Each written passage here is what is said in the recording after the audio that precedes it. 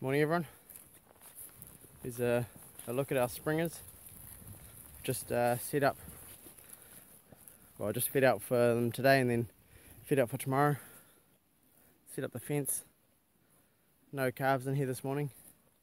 Wouldn't expect to have many calves at the moment. We are still, our due date is the 29th. That's when we're due to start so there's a few springing. Got a bit of an udder starting to form. Well, all these cows here have got a bit of an udder because that's why they're in here. We drafted them out, they're springers. As in their, their udders are starting to fill up. Uh, we also, when we are drafting them out, we are also looking at their dates to see, uh, you know, because you can get cows that might not have held to AB, so uh, they won't have much of an udder if they're going to be in the, in the next cycle.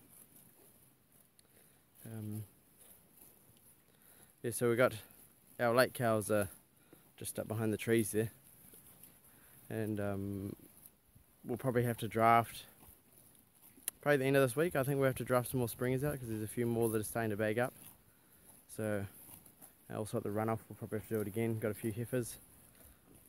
She's probably not far away.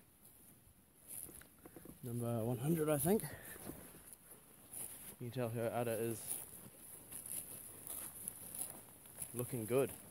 And you can also tell she's starting to get a bit loose around the vulva there. They get very loose.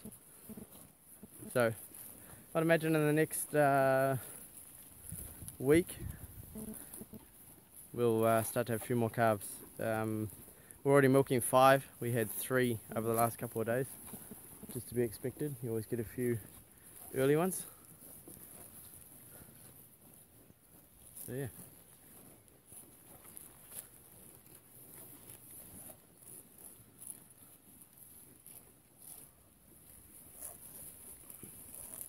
Cool. Thanks for watching. Check us out on Facebook, Family Farming and Fun, and we'll see you another time. Bye.